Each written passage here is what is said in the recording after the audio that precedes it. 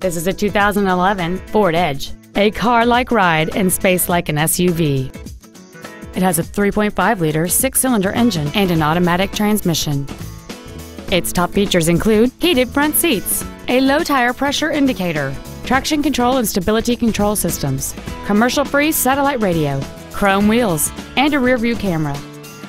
The following features are also included memory settings for the seat's positions so you can recall your favorite alignment with the push of one button, air conditioning with automatic climate control, cruise control, a premium sound system, leather seats, a rear spoiler, an illuminated driver's side vanity mirror, a passenger side airbag, heated side view mirrors, and this vehicle has fewer than 19,000 miles on the odometer.